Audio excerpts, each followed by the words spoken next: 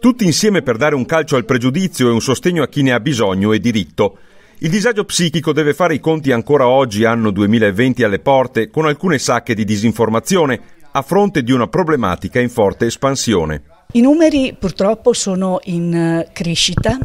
sia sul fronte degli adulti e sia sul fronte dei giovani. E questo è un dato molto allarmante, ehm, è un dato in crescita non solo nella regione Veneto e nella provincia di Belluno ma anche eh, in Italia, diciamo è un dato ehm,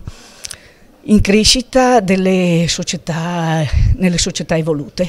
perché la marginalizzazione ehm, di chi non riesce a stare sempre al passo eh, è sempre più forte.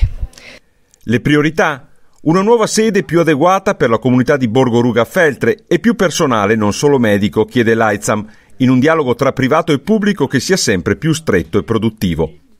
Intanto il volontariato, nato molto spesso dalle esperienze familiari, si dà da fare con ogni mezzo e strumento, come nel caso dell'associazione Tutti in Campo. L'associazione si svolge solo con attività di persone di volontariato. Ci sono 13 persone che per 5 giorni alla settimana si recano nei nostri laboratori e ci sono diversi laboratori per seguire queste persone, per dare stimoli nuovi, per dare anche abilità nuove, per fare in modo che il disagio sia minore di quello che c'è. È riuscita intorno a sé a creare una rete con eh, i comuni,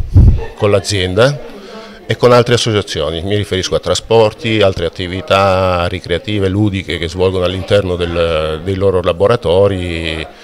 di una sorta di centro diurno che è dotato di attrezzature in cui praticamente le persone con disagio eh, sviluppano la loro fantasia, rimuovono loro, le loro gioie e i loro dolori mettendo allo scoperto quello che potenzialmente non riescono a fare da soli. Un percorso ancora lungo e non privo di difficoltà, ma che vuole guardare al futuro con fiducia tutti gli attori locali eh, che ci sono qui nel nostro territorio, l'azienda ULS, l'associazione Tutti in Campo, AIDSAM, i comuni,